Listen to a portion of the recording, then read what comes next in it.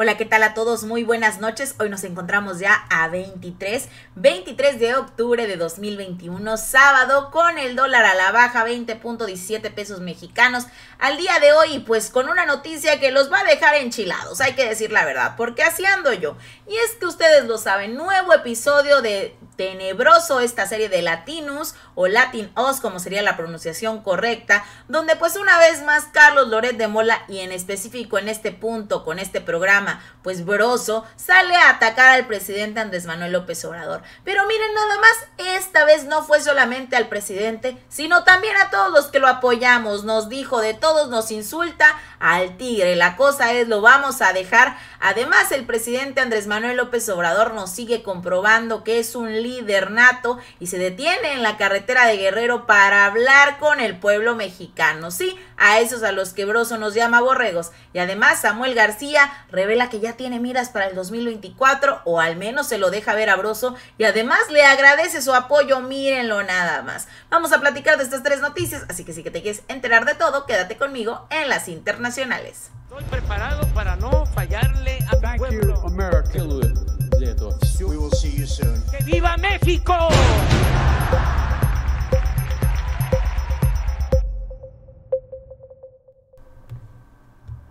Muy buenas noches a todos y así como lo ven una noticia impactante de sábado. Broso se va con todo pues contra nuestro presidente, cosa que ya no nos sorprendería, pero esta vez también contra el pueblo de México y todos los que apoyamos al presidente Andrés Manuel López Obrador. Nos insulta, ¿cómo la ven? Además de esto platicaremos de Samuel García y participando ahí con Tenebroso, dándole las gracias y además de ello pues también revelando como que puede tener interés para el 2024 si sabemos leer entre líneas. Y además de esto, el presidente Andrés Manuel López Obrador hace una gran obra y pues demuestra cómo el pueblo todavía lo queremos muchísimo y lo que dice Broso pues es una total mentira. Pero mire nada más, Broso se atrevió esta vez en un nuevo episodio a insultarnos a los mexicanos y así fue lo que dijo. Vamos a escucharlo.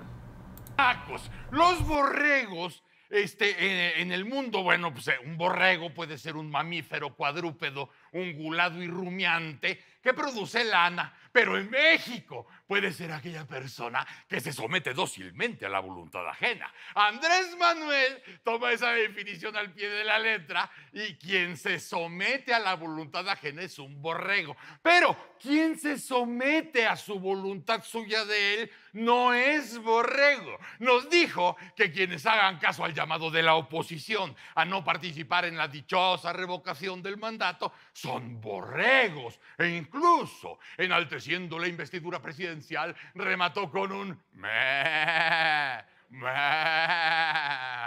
Pero seamos francos, ¿quiénes son los borregos? ¿Los que protestan por la falta de medicamentos o los que la justifican diciendo, ve, ¿Quiénes son los borregos? ¿Los que advierten que la contrarreforma energética nos anclará al pasado o los que la defienden sin moverle ni una coma exclamando ¿Quiénes son los borregos? ¿Los que señalan el aumento de homicidios dolosos en lo que va del sexenio o los que eximen de toda culpa al presidente en turno culpando al pasado con un ¿Quiénes ¿Quiénes son los borregos? Los que señalan lo inútil que es hacer un aeropuerto hasta casa de la chingada, lo improductivo que es construir una refinería cuando el petróleo se lo está cargando la ver, la ver, la ver, o lo ocioso que es armar un tren que te va a dejar en la mera puerta de la chingada. O quienes defienden esos proyectos uniendo sus voces para vociferar. Por eso nos menciona todos los días a Benito Juárez porque quiere ser como él. Pero no como Juárez, el reformador que separó a la iglesia del Estado, defendió a la patria y luchó por los derechos de los ciudadanos. No, Andrés quiere ser como el Juárez pastorcito, chiquito, rodeado de sus borreguitos pequeños para que le celebren cada una de sus palabras con un amoroso ve, ve, ve. ¡Órale!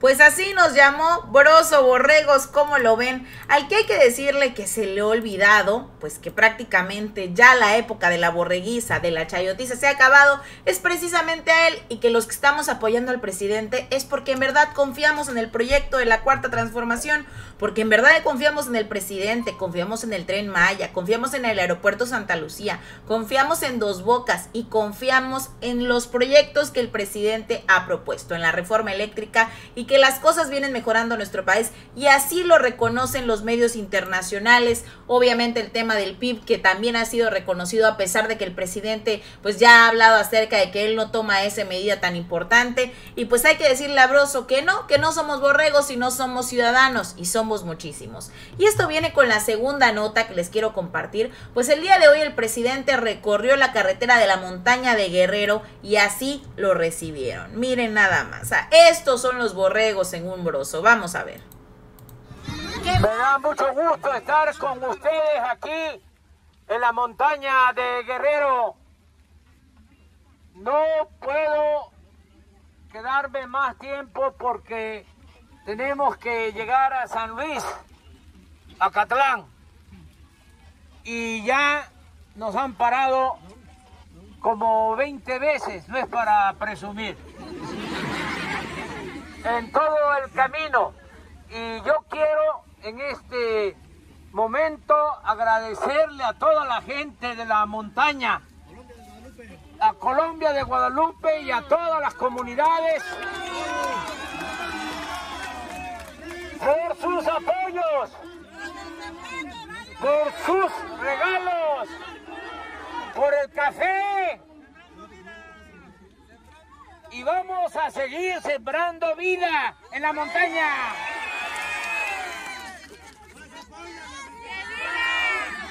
Y van a seguir todos los programas de bienestar, porque se está atendiendo a todo el pueblo de México, pero la preferencia es para los pobres.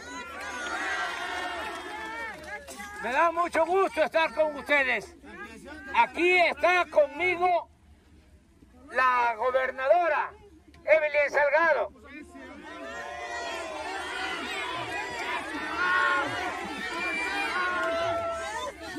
Que se estrene, que se estrene. A ver, ven por acá.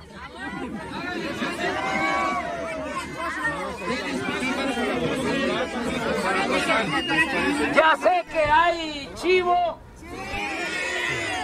pero ya Comí también chivo y tamales. Y dulce de calabaza.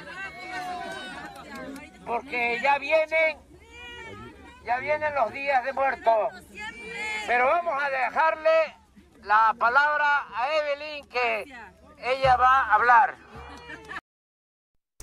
Me encanta el presidente, a mí hasta la piel se me pone chinita de verlo ahí acompañado además de la gobernadora, que pues se ve que el presidente ya le está diciendo, habla con el pueblo, te quieren escuchar, pues al final es una gobernadora nueva, además es una gobernadora que no ha estado tan metida en el tema político, sí ha estado en, un, en puestos de ello, pero no como la funcionaria principal, y se le ve contenta, se le ve feliz, mírenlo nada más.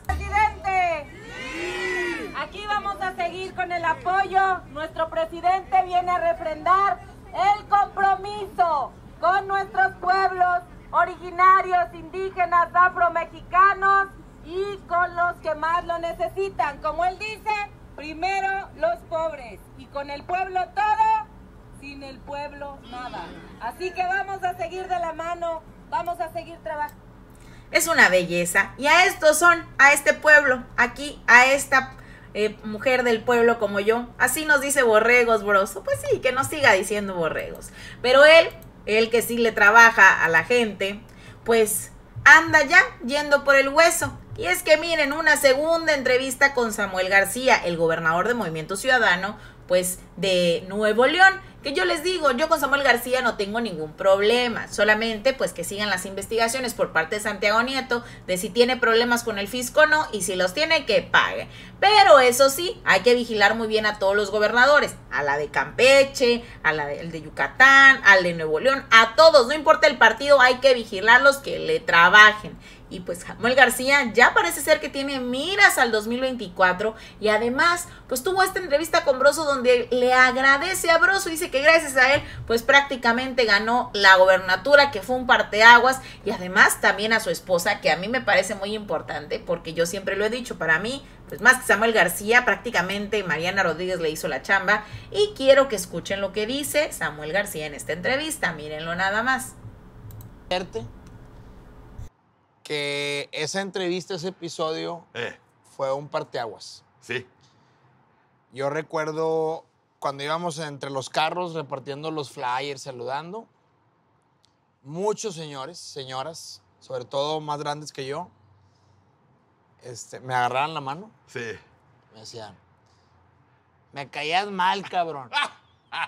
Pero me gustó la entrevista con Broso. Eh, ¡Qué chido! Fíjate que sí. Porque más allá de formas y eh, usos y costumbres, tenemos, tendríamos desde hace mucho que haber hablado para la gente. sí. O sea, porque finalmente antes era, oye, pregúntame esto que yo quiero. No, pues es que yo te quiero preguntar otra cosa. Pero finalmente la gente es la Lo que quiere ellos- saber. Y los temas que ellos quieren que se platiquen, no los que ponen agenda. Y la forma. Sí. Y la forma. Porque, porque por ejemplo. Bueno, por cierto, Ajá. me han sobrado cuadros y regalos de Kennedy a raíz de tu entrevista. Nadie sabía Sí. esa admiración que yo le tenía a Kennedy y ahora tengo toda la sala llena de cuadros de Robert No, y John. y- y además, un detalle que platicamos en su momento, digo, lo platicamos ahí en la entrevista y lo platicamos con esa sobriedad y esa sutileza que me caracterizan, ¿no? acerca de Jackie. Y la verdad es que tu señora esposa, Con todo. con todo. ¿Sabes que O sea, por lo menos sí le debes la mitad de la victoria, estás consciente. le debo más? Bueno, le debes la vida, ca- Algo has de haber hecho, algo bueno has de haber hecho Sí. que, que acabaste en sus brazos. Pues sabes que cuando recién ganamos, todos los gurús políticos, Eh, escóndete, no exhibas a Mariana, pues sí. espérate a la toma de protesta. Y les dije, ni madres, a jalar, hay mucho que hacer. Empezamos con la vacunación en Texas, apadrinando escuelas. Y hoy esos gurús me reconocen que estaban equivocados. Que la gente quiere ver acción, quiere, quiere ver chamba, jale. Y mira, sí por un lado y quién sabe por el otro, porque les queda el sexenio entero. y tú Seis sabes años. que ese, ese es un desgaste, cabrón. O sea, estás empezando con espíritu y con ánimo y prendido, desde luego, porque tienes compromisos con la gente. Sí. Pero pasa un año, pasa dos. Y perdón que te lo recuerde, pero estamos en uno de los momentos más difíciles del país. A lo mejor estás en uno de los mejores estados que cualquiera pudo haber soñado. El mejor. A lo- sí, pero en el peor momento del país, y eso tú lo sabes. O sea, Sí. Mariana igual este, eh, estará igual de entusiasmada que tú y prendida por el asunto, pero todo lo que se les viene encima en estos seis años, o sea, finalmente puede ser gozoso, pero es un pedísimo, ¿no? Pues yo tengo un gran compromiso con Nuevo León. Eh, Está la expectativa muy alta. Votaron por lo nuevo y ahora tengo que demostrarlo. sí. Entonces sí. no puedo salir como Sí. otro Bronco, como otro Medina. Tengo que ser completamente diferente a lo que había. Ahí está Samuel García, que pues prácticamente pues va siguiendo los pasos de pues Enrique Peña Nieto, perdón que lo quiera decir así, pero es la realidad y me encantó porque incluso aquí lo pusieron. Apuntando para el 2024, el hambre es cabrón, abroso entrevistando a Samuel, este güey idolatrando a su mujer. Se les olvida que esta novela ya la vimos. Aquí por aquí, eh, más temas de Broso, donde se ve la entrevista, pues obviamente la gente hablando pues de él, muchas eh, situaciones encontradas. Le va a contar Broso a Samuel García la verdadera historia de la Cenicienta y la calabaza. Pues mírenlo nada más. Yo como les digo, no siento todavía que eh, pues es pronto para entrar a juzgar. Ya las elecciones, diría nuestro presidente, ya pasaron. Pero sí hay que tener un ojito muy muy claro porque esto pasa por pasos. Samuel García apenas acaba de llegar a la gobernatura, hay que ver cómo hace el trabajo, porque siempre lo hemos dicho, hay que observarlos ya, tam- ya chambear. El tema de Mariana Rodríguez, a mí sí me parece que la quieren hacer una nueva gaviota, pero mientras esté trabajando por y para el pueblo, también está bien. O sea, es lo que le digo, tampoco podemos pasárnosla tirando odio, porque si nos lo pasáramos tirando odio, pues al final nos convertiríamos en lo que juramos destruir, que es personajes como este, que nos viene a decir borregos, que nos viene a decir que estamos pues prácticamente idiotizados por el presidente y no se trata de eso, mi gente, se trata de ver quiénes trabajan, quiénes sí, quiénes no y trabajar por y para el pueblo. Y desde mi eh, trinchera pues aquí les comparto la información.